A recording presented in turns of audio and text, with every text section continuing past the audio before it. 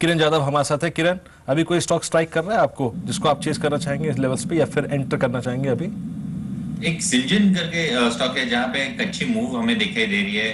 करीबन 412 के करीब ट्रेड करता है। 408 का स्टॉप लॉस लगा के आप ट्रेड इनिशिएट कर सकते हैं। टारगेट 424 के हो सकते हैं। दूसरा एक स्टॉक होगा शिल्पा मिल्क जहाँ पे एक अच्छी मूव हमें दिखाई दे रही है।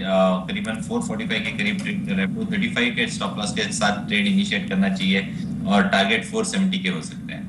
हमारा स्टॉक ऑफ़ द डे था एनआईटी लिमिटेड सुबह सुबह इनफैक्ट करीब करीब छिहत्तर अस्सी का लो लगा, हाई लगाया फिर रिट्रेस हुआ 76 का बेस बनाया और अब 7655 पे। जरा एक बार किरण जरा आर्ली चार्ट्स पे देखिएगा इसको। 60 मिनट चार्ट्स पे लग रहा है किसी अच्छे मूव की पॉसिबिलिटी 80 81 82 पॉसिबल क्योंकि जिस तरीके के रिट्रेसमेंट हमने देखे और उस रिट्रेसमेंट में जो वॉल्यूम आ गई तो मेरे ख्याल से ये बहुत अच्छा स्टॉक पैटर्न बना रहा है। हम्म। और मेरे ख्याल से 80 से 82 के लेवल्स इस स्टॉक में आ जाने चाहिए। इसके लिए स्टॉक लॉस करीबन 75 50 का लगाना बहुत ज़रूरी होगा।